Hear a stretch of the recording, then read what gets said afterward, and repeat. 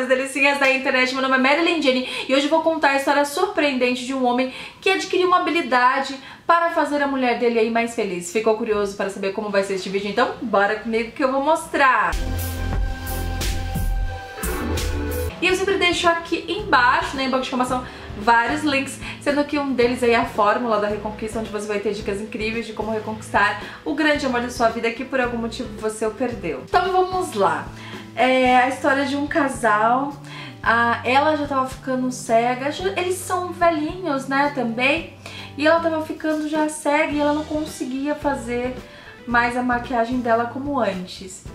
E aí, o marido, vendo essa situação, que provavelmente daqui a um tempo ela vai perder completamente a visão tal, ele simplesmente foi numa loja de maquiagem, né, inclusive da Benefit, e pediu pra maquiadora dar umas dicas de maquiagem pra ele, né? E a maquiadora foi lá, tal, deu umas dicas pra ele e ele começou a fazer a, maquiagem da esposa dele. E eu achei essa reportagem de uma generosidade, né? Porque a gente vê ultimamente o que? A gente vê marido batendo em mulher, marido é, sabe, judiando, mulheres em relacionamento abusivos, né? Recentemente até teve um caso de uma advogada que pulou da ou foi jogada da janela, né?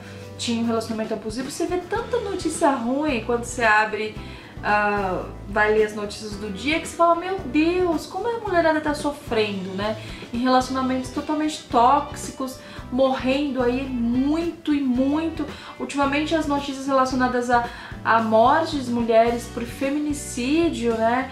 Homem ciumento que às vezes não aguenta o término, vai lá e mata a mulher. Enfim, gente, que quando eu li essa reportagem eu falei, sabe, é como tivesse sido um bálsamo no meio de tanta coisa ruim. Eu fiquei tão feliz e eu precisava compartilhar porque isso na minha visão é um ato de altruísmo, de generosidade, de muito amor e respeito, né? E é isso, gente, assim, o que que você tá fazendo no relacionamento, sabe?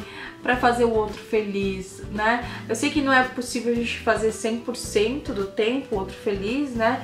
mas algumas coisinhas que a gente pode fazer para melhorar o dia da outra pessoa, eu tenho certeza que vale muito a pena é, investir, porque são investimentos aí que trazem um bem-estar e você vê a pessoa que você ama feliz, com aquela atitude, não tem preço. Você precisa ver a carinha da velhinha assim, super bem maquiada. Eu adoro esse tipo de coisa. Me deixa aqui embaixo nos comentários o que você pensa. Não se esqueça de deixar o seu like, ele é muito importante aqui para o crescimento do meu canal. Compartilhe este vídeo com outras pessoas. Se inscreva no canal, me siga lá nas redes sociais e é isso aí. Um beijão, mas um beijão bem grande nesse seu coração gigante.